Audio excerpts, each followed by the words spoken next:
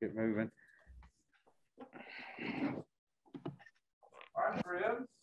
Uh, welcome back to another week of Scriptural Foundations and Justice. And this week and next week, we cap off the uh, the work that we've done up to this point with updates from the two research teams that were commissioned as part of Capital Area Justice Ministry.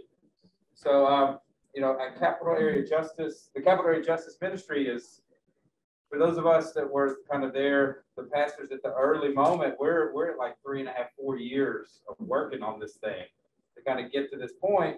And a few, uh, two months ago, we kicked off the research process and commissioned two large teams. One to look issues and questions of affordable housing, to dig into the numbers and the experiences and the stories here in Leon County, to get a sense of, of what's going on for folks, and then to begin to, to strategize and think about how we might address that. And we're, we're not quite to that phase, but but we're, we're, we're, we're to the point where we've had enough meetings and gathered enough information. I think, I think it's appropriate to start to share this broadly. Um, and of course, we have another research team that will report next week with us here on gun violence and criminal justice. And so these are the two core areas. Uh, Blaze, how many folks would you say were on the affordable housing team? I mean, there were a bunch of us in the room. There were like 50 on that on the one call I was on. Yeah. The call today was on the it was less. It's like 15, but the big one was like 50. Yeah. So I mean, y'all, we we we've got we've had on the affordable housing side, and I'll let the I'll let the folks for the other team speak next week. Um, we've had you know upwards of 50 people at some of these things from churches across the community, kind of pooling our collective wisdom and knowledge and inquiry and question and kind of digging into some of these some of these issues. And so tonight uh, we have invited here to speak with us uh, Blaze Denton, who is the, uh, I've, I've decided to call him the research director at the Florida Housing Coalition. Um, also, maybe, uh, maybe more famously known for those of us here at Trinity, uh, uh, married to Gabriella Denton, our very own communications coordinator here at the church a father of Luca, who is on screen with us here. Uh, and Blaze is going to give us uh, some, some context and share a bit through the research process. Uh, and then here shortly, uh, Claire Dodd, who is Rector's Assistant and Membership Director at St. John's Episcopal, will also join us as another member of the team. Uh, you know, if there's one thing that I've learned through working at Capital, with the Capital Area Justice Ministry is we show up in bunches because you're not doing anything by yourself. And I think that's healthy in this kind of work. I think it's important for us to be accountable to one another and show up together. And and I'm I, and and so I, am excited that we've got a couple folks here, part of the research process, to share with us. Y'all, this this will be different than the previous weeks. Right? And you, I hope you all received in your email the the the the, the sheet, the fact sheet, to kind of get a sense of what of what's going on, and then and out of that, you know, we'll we'll answer questions and dialogue as best we can. So Blaze, if you want to yeah. share a bit, we'd love to hear from you, friend. Thank you. I'm gonna take off my glasses. So you were welcome to. You were welcome. Hey, so like uh, Nick was saying, I'm the research manager at the Florida Housing Coalition. Um, so I've been doing this for about three and a half years. Yeah. Uh, but I, as we're working, uh, we're we do a bunch of stuff. We do a bunch of training. We do a bunch of policy work for nonprofits, uh, or for well nonprofits, local governments, for the state government, uh, disaster stuff. Um, but like so many things don't work. Um, and we live in Florida, you know, that I think used to be a moderate state, but for all of my lifetime, it's been a, a state that doesn't really fund affordable housing. Um, so at the state level, we set up a trust fund in the early 90s, uh, you know, almost uh, actually 30 years ago, I think this year. Um, and then for the last 15 years, you know, as long as I've lived here, um, they've taken half or more of that every year. Uh, there's been a couple years where they've taken everything. Um, and other stuff, you know, housing just keeps getting more and more expensive.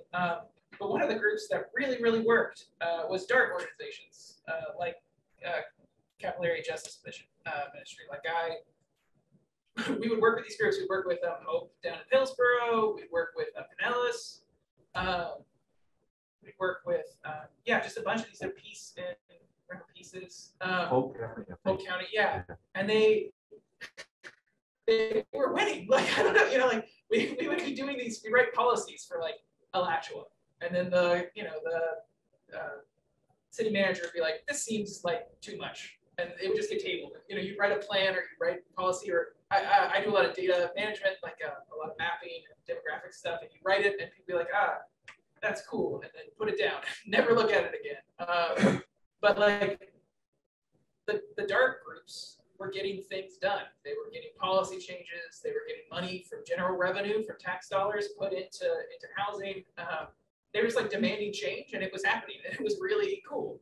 Um, so, so anyway, so that was sort of before I knew CAGIP was happening. Uh, and then I was, uh, I've been going to St. John's uh, for the last three or four months. And I was over um, at St. John's and um, they were talking about uh, starting up the, the research process, and I was super excited. It was like, I want to be on the other side of, you know, get me involved on the other side of this. Uh, so joined and then joined the, came to the first big meeting and then came to the, the first housing research meeting and then have come to some of the uh, interview meetings since then. Um, and it's just been, it's been a cool process because rather, like everywhere else, right? It's like, it's a bunch of people, it's a bunch of personalities. Um, it's takes a lot longer in some ways than you want, but it also happens very fast, right? It's like four or five months, but it also sometimes feels like you're going over the same ground over and over again. Um, and yeah, it's, you know, all these different people asking for questions at all different levels of knowledge about it. Um, but it's just, yeah, it's super cool. And I, I'm super glad that it's happening just to see, yeah, like people getting together and doing, making change in a way that yeah, I've seen other places just really works. So um, it's cool. So yeah, that's me. Um, I was going to talk through this list. Um, is there any? Yeah, you guys have seen it. Um, yeah. Just a general, poverty is really high in the county. Um, poverty also is a meaningless number. Poverty is set at three times the cost of food, which in 1964, when they said it, was a meaningful number. This food was like a huge budget item for most people. Um, now food is about 10% of our budget. So poverty rate in most people's budget. So the poverty rate means nothing. Like it, I mean, it means something. If you're below the poverty rate, you're, you know, about a third of what a normal family is is getting, um, which is terrible. But the, the the number that they cite here, right, is better. That the Alice number. Mm. Um, so that's showing about about 50% of people are below Alice. So that's uh, asset limited. Uh, income constrained employee. So that's people who are working or making working wages. I think if you uh, certain retirees sometimes accidentally get, get included because it's pulled from census data. Um, but you're making working wages, um, but you don't make enough to support yourself or a family. Um, so if you're a single single person, right? Um, Alice is set at 18, 19, maybe 20, right? And that's so it's still not like, oh, you're making a ton of money it's like you're making enough that you can afford to live. The, the below Alice, the assumption is that like if you're saving, right, or if you're if you're making money, you're not saving, and any emergency that happens to you is gonna pretty much buckle you. Yeah. Um, right. So this is. And, and this is, I was reading a, a report, and most families have some kind of emergency every year. You know, somebody loses a job, somebody gets really sick, your my car broke down seven hundred dollars uh, like a couple months ago. Um, and if you are Alice constrained, uh, chances are you know that's causing a, a, serious. You're you're going deep into credit card debt. You're going to get a payday loan. Um, you know, and then that starts the cycle. You can't pay your rent. You move in with your parent. You know, like it just it snowballs uh, really really badly.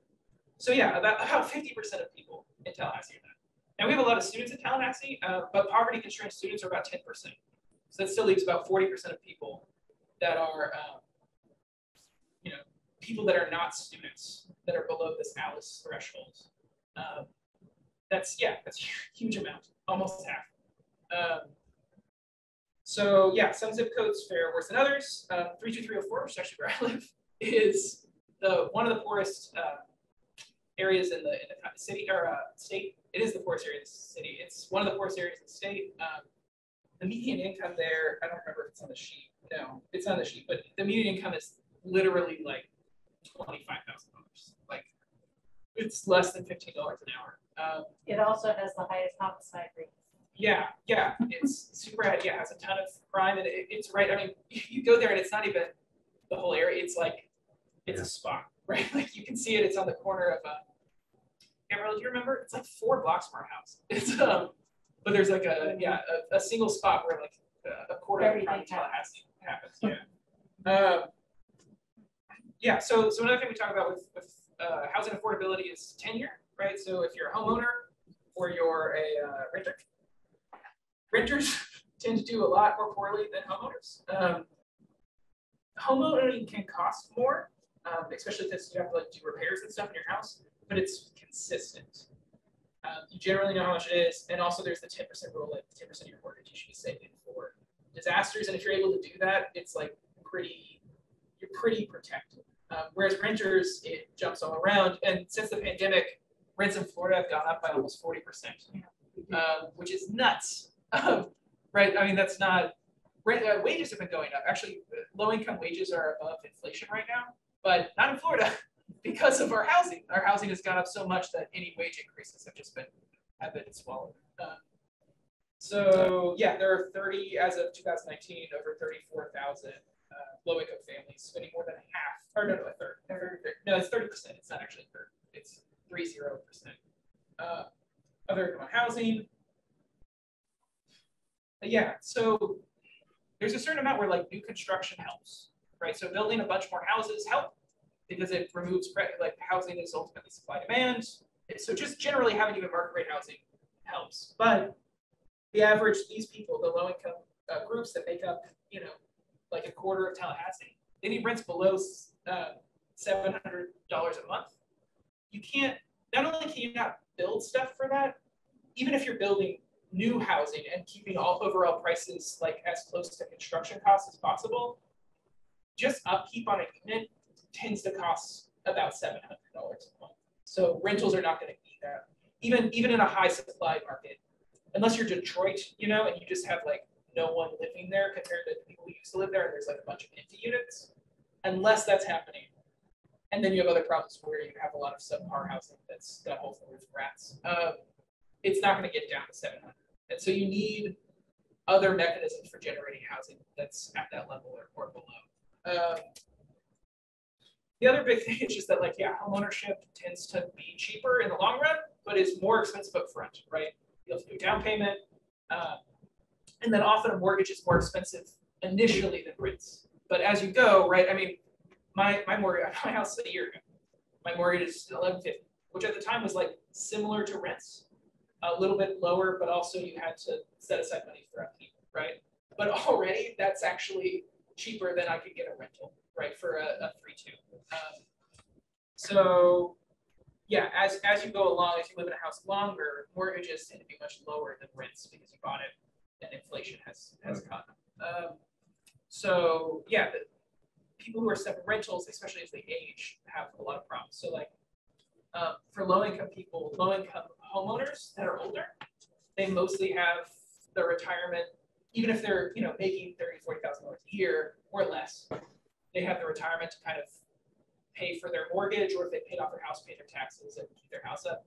Um, but renters are still paying rent competing against low income workers. Um, and so having those that money for for low income. Um, so getting people into home ownership over the long term really improves housing costs. Uh, what else have we talked about? Oh yeah, the, this is a, the gap. Um, at the minimum wage of 865, it would take 93 hours of work a week to pay for housing. That's more than two jobs. That's working, you know, seven days a week, like uh, 12 hours a day. Um, so it's just not really possible, uh, right? Um, and then, yeah, the city and county um, housing programs, I was saying on the call today, uh, Matt, who runs the county one, is, is brilliant. Um, the program is one of the best in the country. It's like a national model. They get money to people really fast um, and really effectively, and they target need really, really well. So they're doing a good job with what they have, uh, but they don't have a ton of money.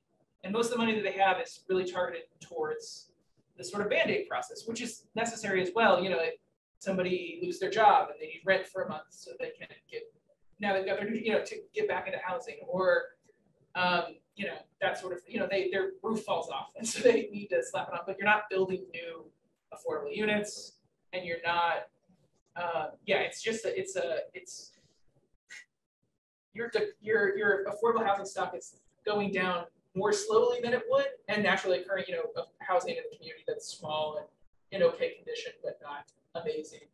That's naturally occurring affordable housing. Um, it's maintaining that, but if you're, you're just getting this sort of, you know, rather than dropping affordability, you're seeing kind of a coasting affordability, but it's still a downward trajectory uh, because of both the system and the amount of funds that they have. Uh, yeah, and then this last one, we're just, um, for good reasons. Um, a lot of public housing was, or you know, a lot of public housing was very poor, and so we've moved away from a lot of these traditional building a bunch of public housing models, um, which in a lot of ways is good because a lot of those, I mean, were not good places to live, uh, but we haven't really replaced it. Right. So you know, so it's it's like a, a lot of these problems uh, in the 80s and 90s. There were these bad systems, um, which was you know the same thing with. Uh, uh, mental health, like asylums. Asylums were bad, like they were legitimately bad. Um, and so Ronald Reagan closed them. It's like, great, these bad systems ended. It's like, okay, but what are you going to replace them with so that the people who need help are getting help and they weren't replaced? Um, and so in the, same, the same way that we, we stopped building public housing, but we didn't replace them with systems that got low income people into housing in a, a better way, um, or we have just consistently done less funding. Um, and so, yeah, between 2015 and 2024, um, only about 30 uh, low cost units are going to be built, and several, uh, over a thousand, it's like 15, 1600. I have to look at that number, but over a thousand units are going to drop out. Like uh, they were affordable, but they had a time period, and now they're going to be sold to a for-profit developer who will fix them up and sell them, you know, for market rate. And I mean, they're, they're not going to be like super, super expensive because they're, you know, relatively small units in lower income parts of town, but they're not going to be guaranteed affordable units anymore. Right. So anyway, yeah, that's kind of the list. And yeah, if anybody has any questions, yeah. Yeah. So uh, from your professional path, yeah. what would you say is one of the biggest? Either I don't want to say that groups like ours are ignorant of, but significant issues that groups like ours don't know that we should. Yeah, I mean, so I think there's a couple things. I, uh, there's a couple like community land trusts are a really incredible uh, process. So what you do is you uh, the uh, nonprofit builds a house, it sells the house but not the land to a person at a at a discounted cost, and then they build equity. They own it, but they're only building equity at one, two, three percent a year. And then when they sell it, it sells for one, you know, basically the price of inflation. Um, and so overall, the or slightly below. And so overall, the house is maintaining the same value rather than appreciating. Um, and so the house becomes affordable long term. So that's really cool. I, mean, I think another thing is just that like, right, zoning is not natural. Zoning, uh, Euclid versus Amber, Ambler in the early 20th century was a case, and they said we're going to start um, creating zones where people can build certain things. There's going to be a zone for single family homes. Uh, there's going to be a zone for apartments. There's going to be a zone for commercial, and there's going to be a zone for industrial, right? And um, cities traditionally weren't zoned like that, or weren't hadn't have that. Um, and on one hand, that's good. Like you don't want a factory and somebody's house, this factory that's poisonous. I mean, it depends on the kind of factory. Got a woodworking factory, it's fine. But um, you don't want to you don't want to a noxious factory right next to somebody's house. Like there is a certain amount of separation, but by separating uh, single family homes and apartments, they're very explicit where they're like, we want single family homes to be for like nicer people, like wealthier people, you know, the good members of the community. And then the apartments will serve as a barrier between those people and the more noxious elements of the commercial and industrial, right? And so it's like a very explicit, you know, there's going to be these single family homes that are for rich people and these um, uh, apartments are going to be for poor people, and the poor people are going to get the negative things. They're going to have the traffic through their their neighborhoods. They're going to have they're going to be next to industrial, um, and and it, it really is tied to race really closely, right? Um, so that Euclid versus Ambler was not; it was just class, but um, overwhelmingly for most of the 20th century till, till the Fair Housing Act of the 60s, uh, Black people were only allowed to live in a couple of neighborhoods. Those neighborhoods were overwhelmingly, they had very little political power. Yeah. And were overwhelmingly like industrial, commercial uses were forced there. Uh, they were unable to get mortgages, and so their homes tended to fall. They didn't own their homes, and their homes tend to fall apart because you needed a loan to fix it up. It wasn't going to happen. Um, and so, again, like a lot of zoning has concentrated poorer people and more noxious uses in a few places and created these zones of single family homes that are too expensive for most people. Um, and they've, intentionally controlled land, right? They're, the single family districts can be nice to live in, but a lot of the, the reason that they exist is we're controlling land so that our housing prices go up, right?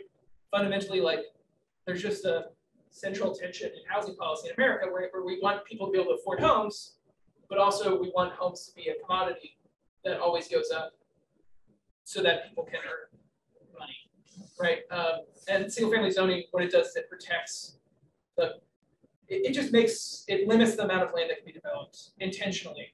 So people who own single family homes, their equity builds and people who don't uh, have no chance to sort of get into it. Um, and so reducing zoning is important, but it's like oftentimes when people lower zoning, it's in poor neighborhoods because those people don't have political power. But I think what would make a huge change is actually the opposite, where if you could allow more duplexes, triplexes, small apartment buildings into wealthier neighborhoods, you would start, you would see lower costs and you would see lower costs spread more across the community instead of concentrated in a few neighborhoods that often have very high crime.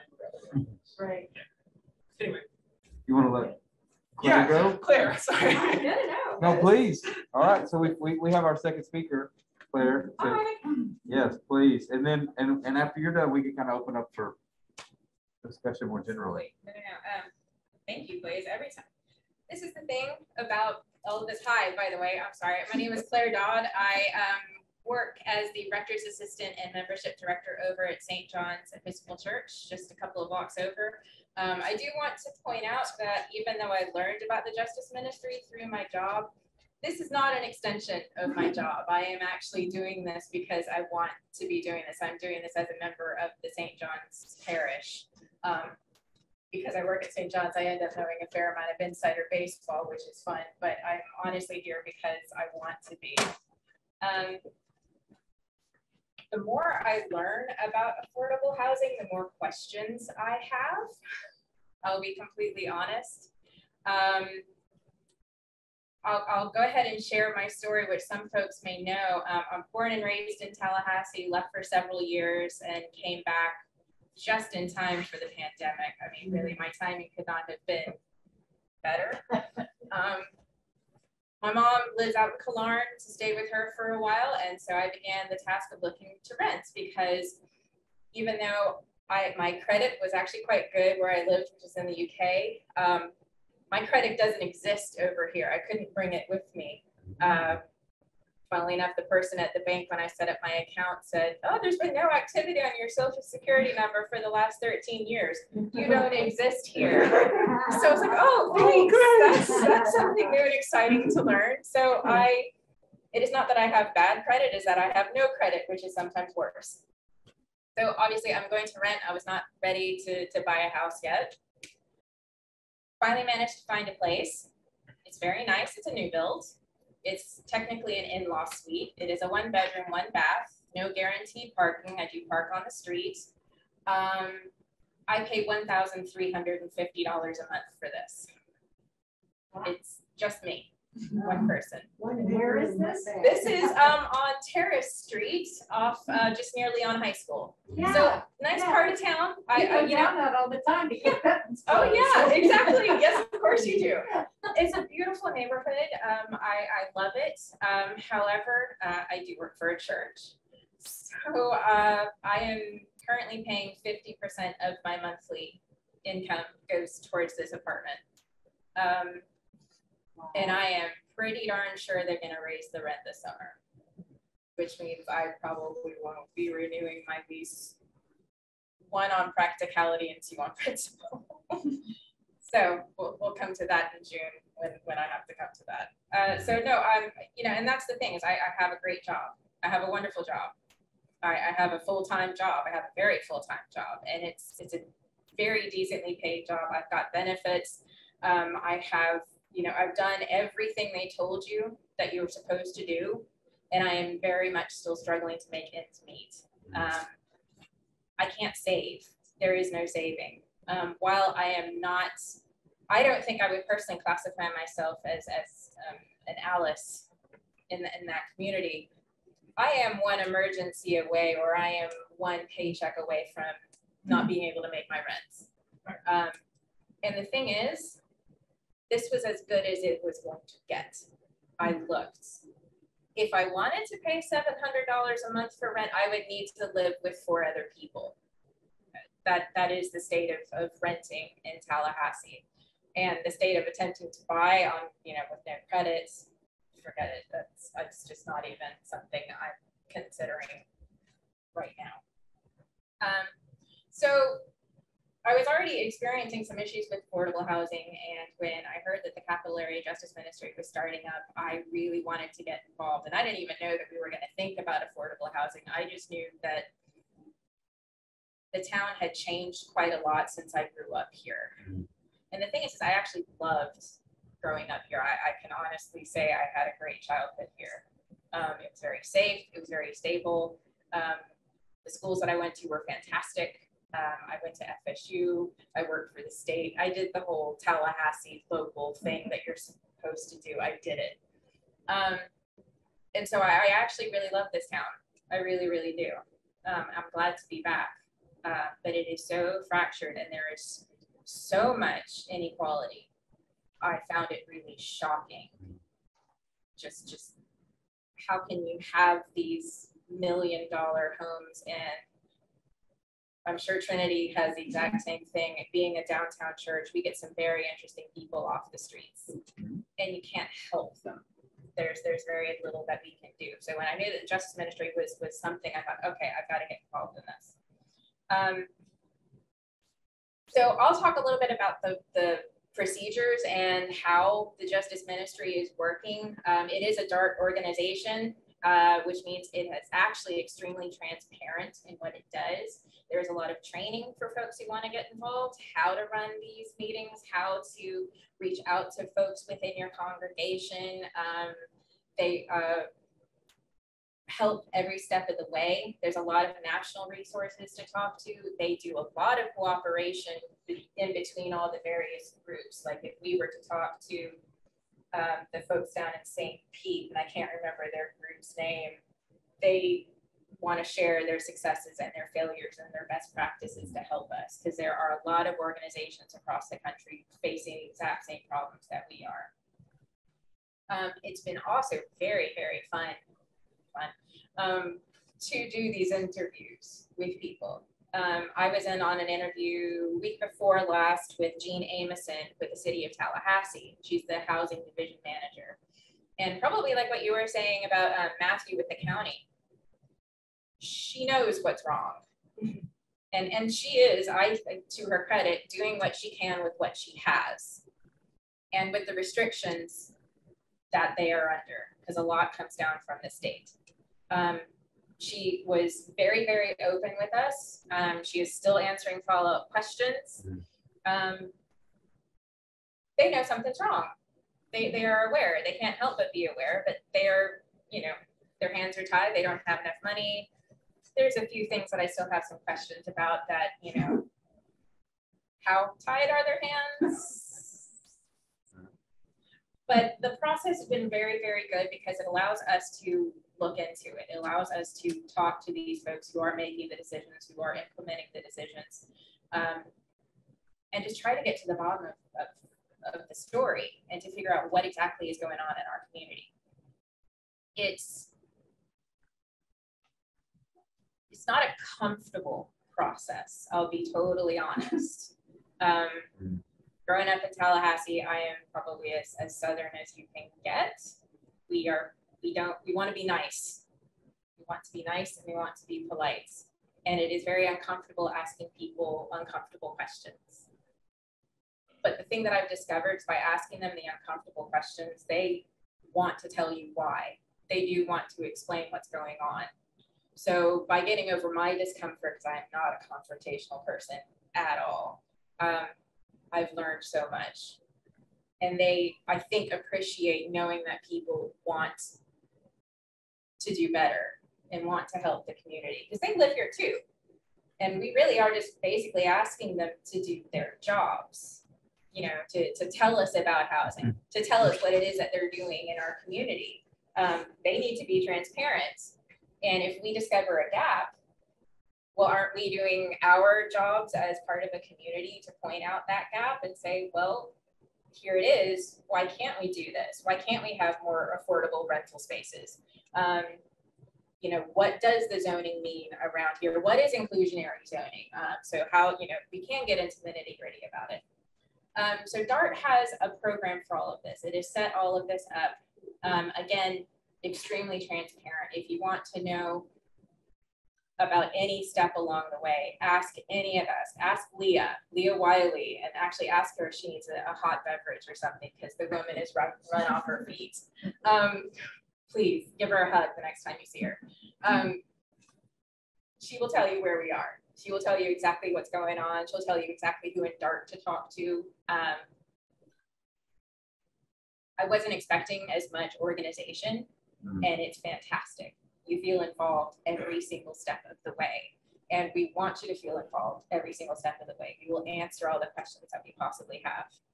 Um, and it's not easy stuff we're asking, and it is not a one and done.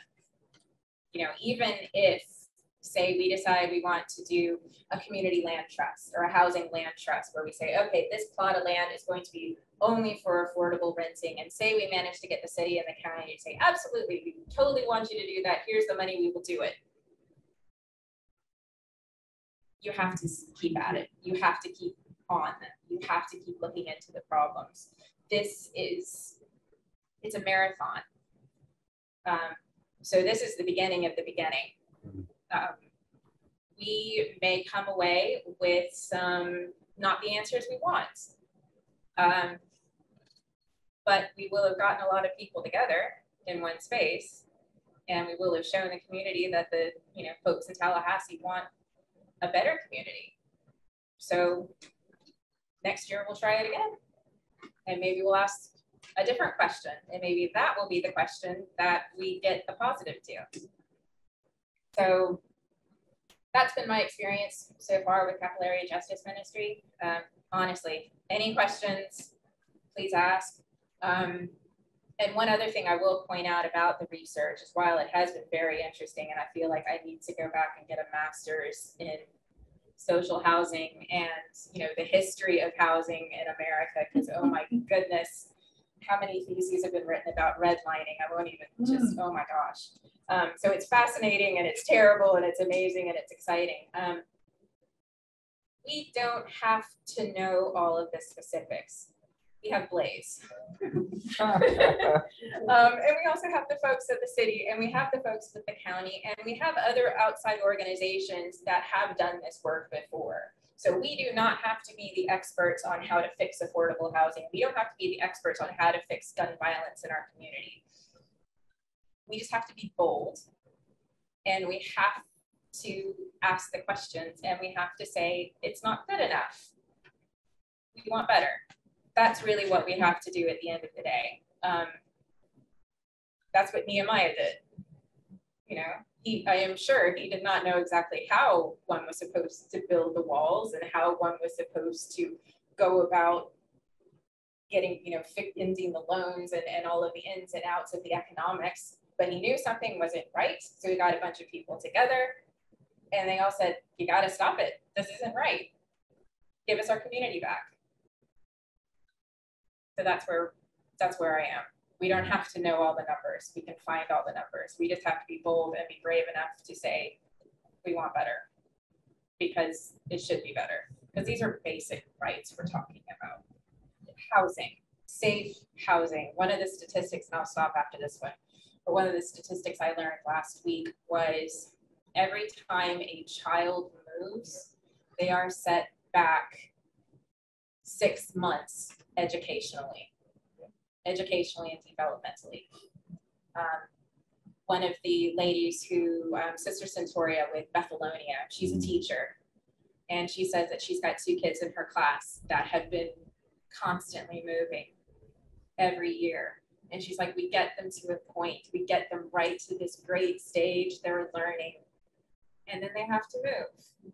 And it's back to square one. And it's because they can't find someplace affordable and safe to live. And that's right here. That's that's here. That's that's it's not miles away. It is a few blocks over. So, that's me. That's awesome. I'm Well, happy to answer questions. yeah, hey, hey, uh, uh, Zoom, Zoom family and everybody in the house here. If y'all, uh, y'all wanna, y'all wanna ask something, this is a good chance to chat with some of the folks involved in the research process, just unmute and give us a go, and we can even get on camera if we, if we need to.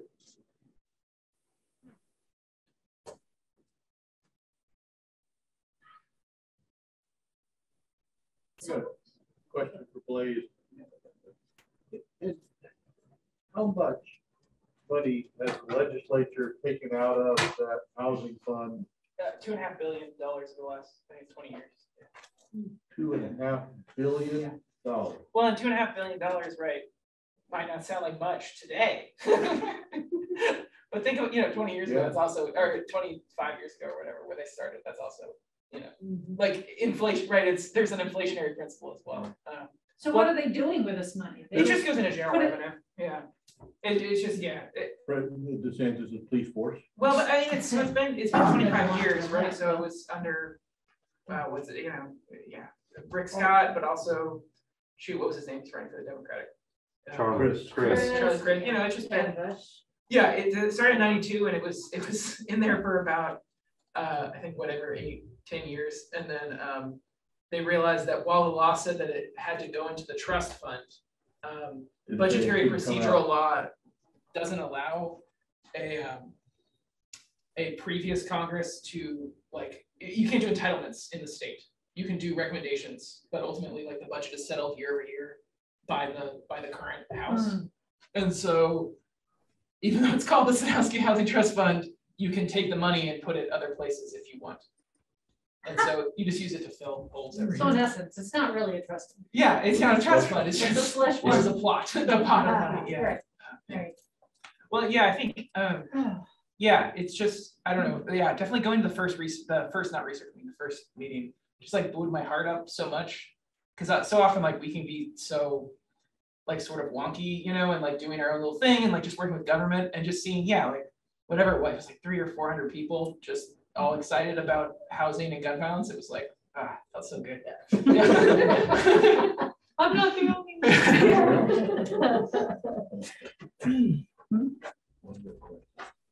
Hey Dot, go ahead. Hey, uh, just a comment. Uh, the Alice report was referred to, and I happen to have the two thousand fourteen Alice report still. And I had a chance just to take a quick pe- peek at it. The housing situation was certainly no better. And what really interested me was that only at that time, only about 26% of people were of the county were living in owner owned housing. Hmm. A huge number were renting. So I don't know how that compares to now. Yeah, for in low income people, I, I think there was a number, that's not the percent, but it's, it's like 75, 80 percent of.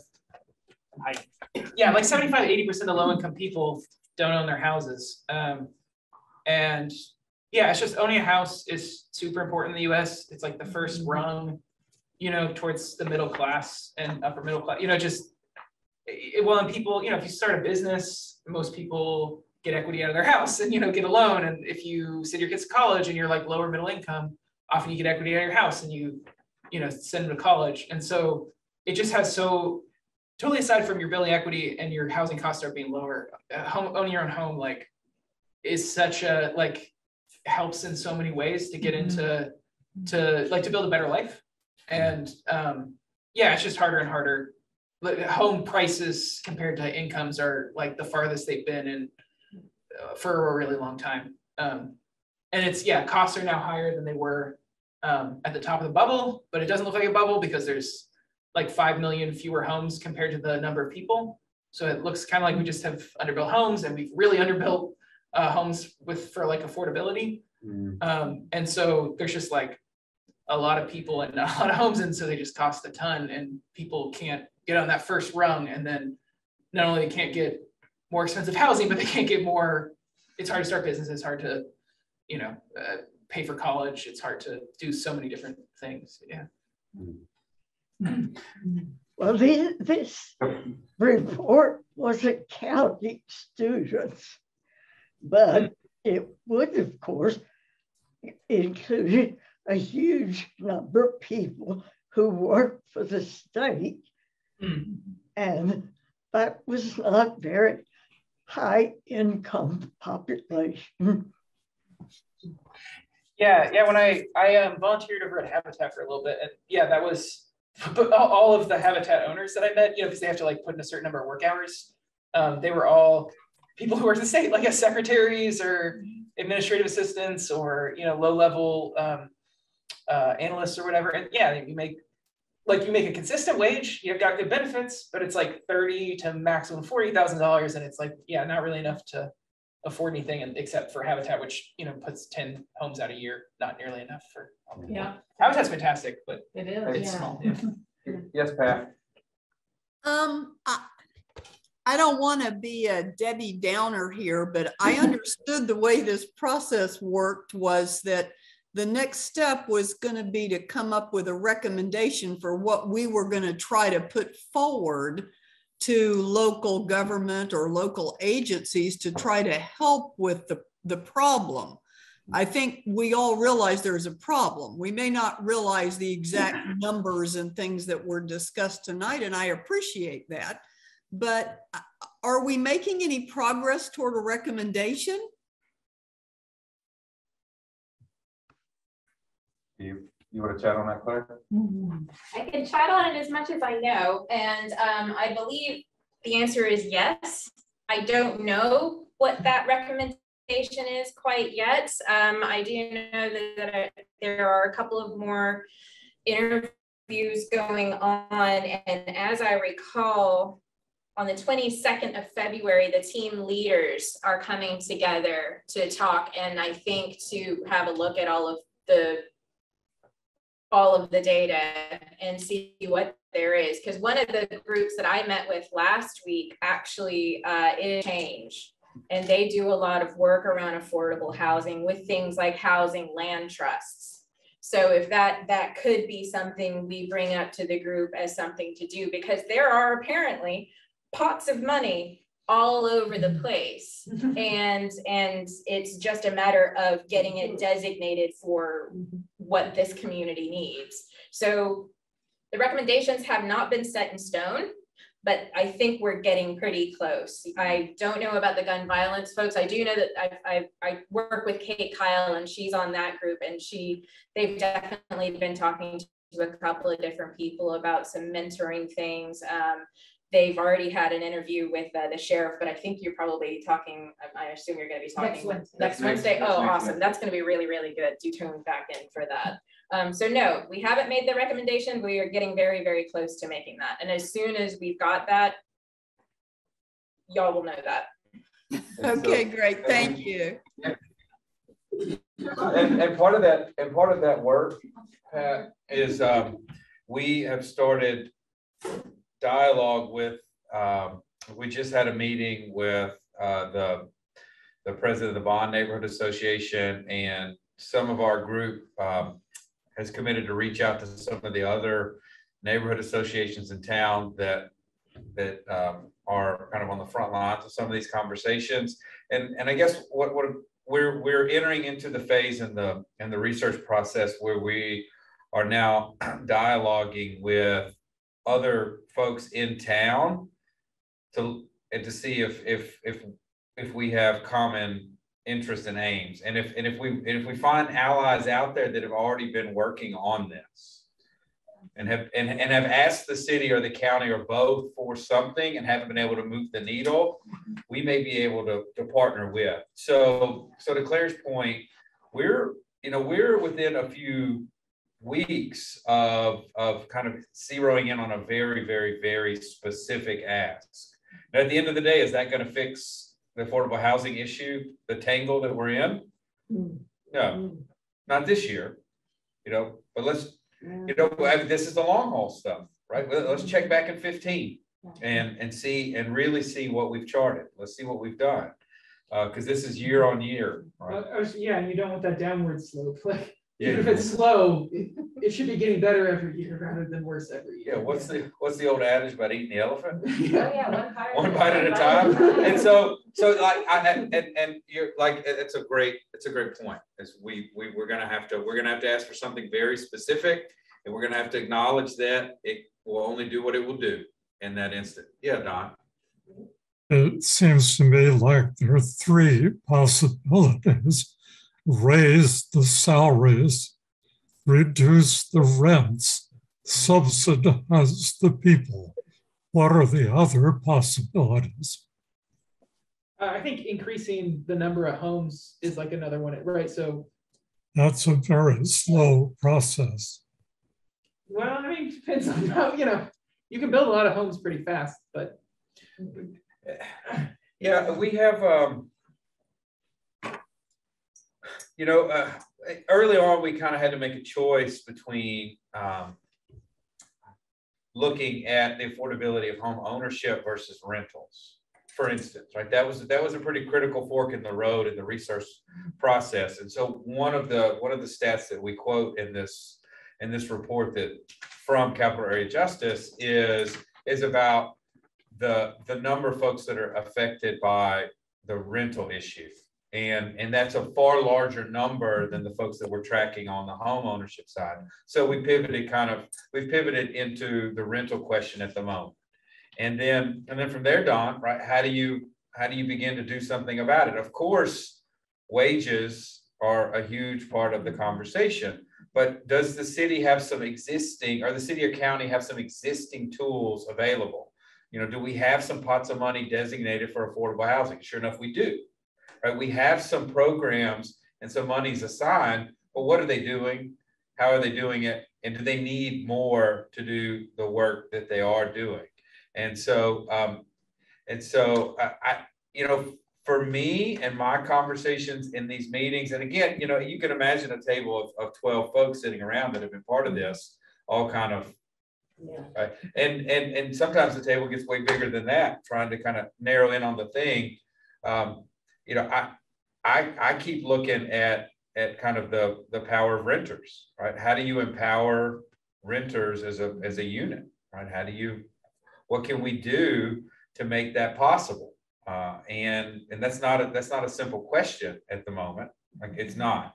Uh, but, but is there a way to, to, uh, to, to, to interject ourselves into the cost of housing for the renters so that monthly they have more, more cash on hand. Because they're just, they're not spending fifty percent on what they're renting, right? And so, so how can you, how can you, given the, given where we are, how can we, how can we, how can we bring the, the wage, right, the monthly cash flow this way? And, and I think, I think it's gonna have to be programs on the housing side, because Don, I don't, I don't see us touching wages, um, right now, right? And, and that, that, that actually feels like it's a little far afield at the moment. Well, and that's such a state, national Mhm. thing. Um, we're really trying to see what we can do locally and while I really applaud any effort to get someone into the home ownership, there are gonna be people in our community who are never gonna be in the home ownership realm.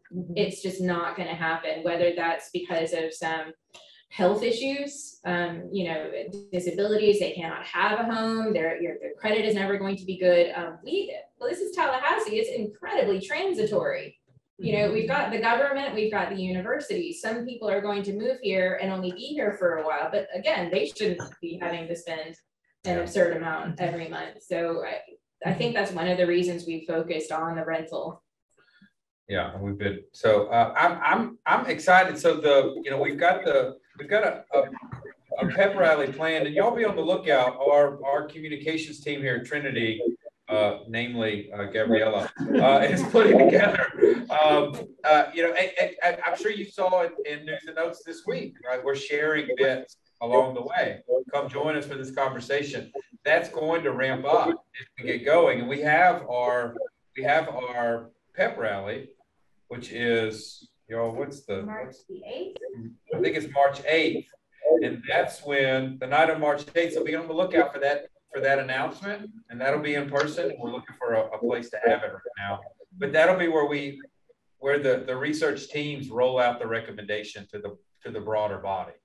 Right, we'll roll that out at that meeting. So we, we've got to have an answer in a couple weeks.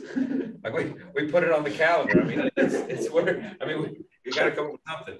Yeah, Jerry, did I see your name? Yeah, yeah. Um, like I say, one thing that's sort of missing from all this, and it's interesting to me, this all you're talking, it- it's being talked about is sort of a, a bottom up effort. And we're talking about does the city, the county, the local government have any money? And you know, the big elephant's not in this room is the state. And those of us, some of us who worked in government in the 70s, 70s and 80s, remember when the state had uh, interest in this. And when there was people in the legislature and in the leadership in the legislature that cared about things like this. And we've gotten to the point now it, it started going downhill. Well like when rick scott became governor one of his main accomplishments from his perspective was abolishing the department of community affairs. Well the Mhm. department of community affairs probably got abolished because they did growth management and the big developers didn't like growth management. And so they took them out, uh, out of the picture but they also did emergency management. And the third big part of them was housing and community development. Now, a lot of these programs have probably ended up in other departments, but back then you had a whole agency that was focused on these issues. And we don't have that now. And we also, from what I've seen, don't have people in the legislature. There's some who care, but they're so far outnumbered and outvoted who care about things like this. And, and you know that wasn't always the case. And that's where the big money is and that's where you can make a difference. And and you you can see there are other states and big cities like new york where they you know they do a lot of massive housing programs. You can see and they issue bonds like crazy. And um, but you know it, it's a shame that we're at that point where we have to be saying does the city have any money or the county? Or we're not Yeah. even talking about the state because it's such a lost cause these days. Well, and, and I'll say this, uh, so we have, do y'all, uh, we have twelve or thirteen DART organizations in Florida, in different places. Uh, Pinellas, um, uh, uh, I, I, I can't name them all, anyway, uh, we have, we have, um, uh, all right, we'll see y'all. We're, I, we'll promise we're gonna get him home real soon. Um, uh, we, um, the DART organizations a decade ago in the state started working on collectively, each in their individual pockets started working on issues of civil citations. For instance, at the bottom up, right? Started working on it with with uh, sheriffs and local law enforcement to institute civil citation programs. And eventually it got to the point where enough of the organizations had worked on it enough at the time that, that they began to work together, coordinated, and pressured the legislature into, into a civil citation program that's statewide. Now, it takes time to build that kind of capacity. And honestly, right, the type of organizing that we're talking about here, it just it it takes a while to build capacity that could affect statewide legislation. Do I think it's possible out of this? Yes. Do I think it's necessary? Honestly, yeah. Like I think I think we've got to have that conversation. And so, you know, for me, it's you know, I, my my my uh my uh my political practice is always let's let's get the thing I can grab, right? The thing I can get right now, and let's build capacity, build capacity, build capacity, and maybe we can have that dialogue. Because uh, I'm I'm I'm in total agreement, Jerry. Like if we're not if we're not getting getting right, the Sadowski Fund is a prime example of, of what's happening at, at the at the at the state legislature in terms of in terms Yeah, of and let me remind you, Bill Sadowski, in addition to being one of the probably best legislators we've ever had in Florida, he was also the secretary at DCA. Yeah. And so his agency that he was the head of when he died in a plane crash, you know, the tribute to him was they abolished it, abolished hmm. the entire agency. So that's the way things are in Florida right now, unfortunately, and at the state level, and hmm. particularly in the legislature. Well, and if we're people, right, we, we've established over the last four weeks, we're folks that are called to this work. Like we don't, we don't get to sit it out, right? We, this, this is part of our charge as disciples. Is to, is, is to step into these places and to do this work, to ask the tough questions, to get uncomfortable, Claire, in some of these conversations and advocate. You know, the big four keep showing up in scripture again and again and again, right? The, the, the widow, the orphan, the immigrant and the impoverished keep showing up again and again. And those are the those are the most vulnerable people in in the societies that we have accounted for in the witness of scripture. And here we are trying to do our piece in that too, for all of our sakes and for our call to ministry. Um, so yeah, I, yeah, I mean this is this is long work. Uh, and I'm, I'm I appreciate everybody who's on tonight everybody who's who's been a part of the research process, everybody who's answered the call, either be a team leader here at Trinity or join a network. If you haven't heard from somebody or haven't got a chance, trust us, the, the, the opportunities to hop in and to on-ramp into this are coming and they will be coming, they will be coming quickly uh, over the next over the next month. And so, so keep an eye out for news and notes. Keep an keep a keep an ear out for announcements on Sunday morning. Uh, keep a lookout for uh, for invitations to join into this work in new ways. And let's, you know, let's buy into it as a church and and and do it. We can't let St. John's be right, be the one right, that's doing all of it. Right? This is the kind of competition I am This is totally in this is yes yes. Temple Israel is turning folks out, and I'm not gonna know. Temple Israel won. Temple Yeah, Israel at the last gathering, we were we were close, but Temple Israel got us. So um, yeah, look, we've got work to do. So I look, I appreciate every one of y'all, uh, Blaze, Claire. Thank y'all so much for coming to share. Yeah. What a what a what a beautiful ministry. What a beautiful opportunity to collaborate together uh, and and do some kingdom work here in the community. Um, everybody, God bless. Y'all have a great night, and and I'll see you next week. What do you think? Yeah. All right.